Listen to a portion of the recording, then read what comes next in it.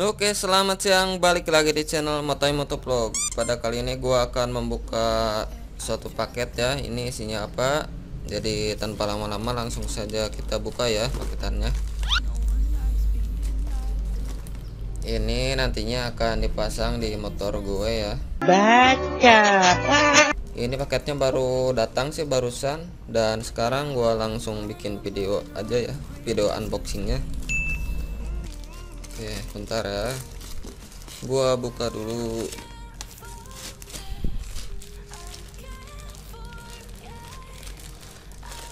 Ini paketnya udah nyampai selama tiga hari sih.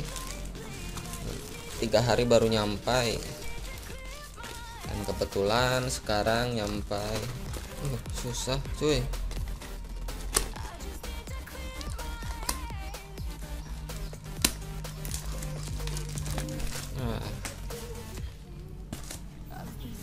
Oke.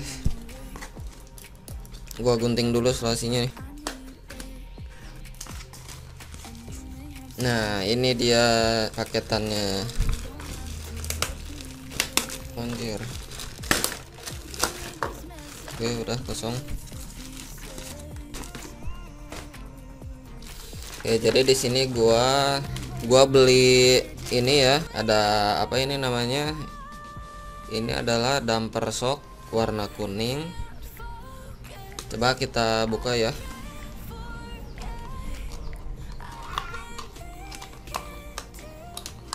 Kita buka. Ois oke. Jadi ini warna kuning ya. Ini semuanya juga warna kuning nih gua sesuaikan sama konsep motornya ya. Jadi konsep motornya itu kuning dan gold jadi kuning-kuning gitu variasinya. Kuning-kuning ngambang coy.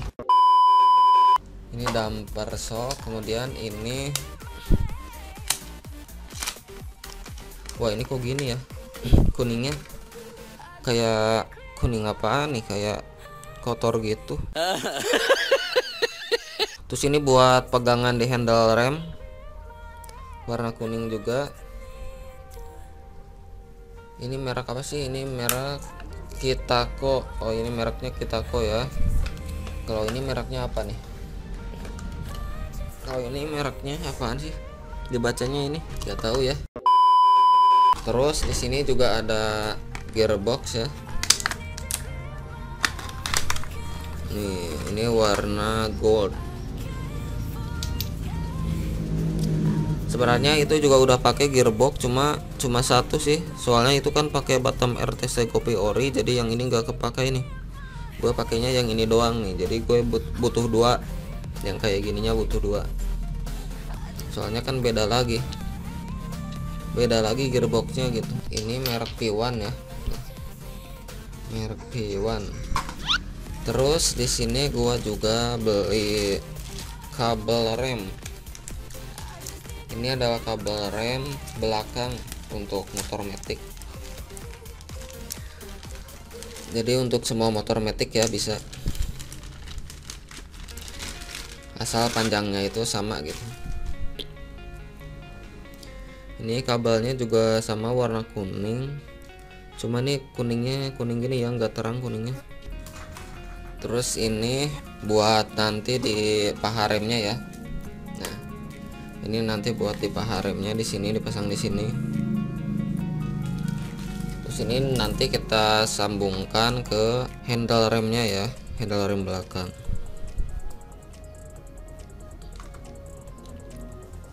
Untuk harganya oke ya untuk harganya. Bentar. Oke lumayan panjang. Terus untuk harganya untuk harga ini selang eh selang rem.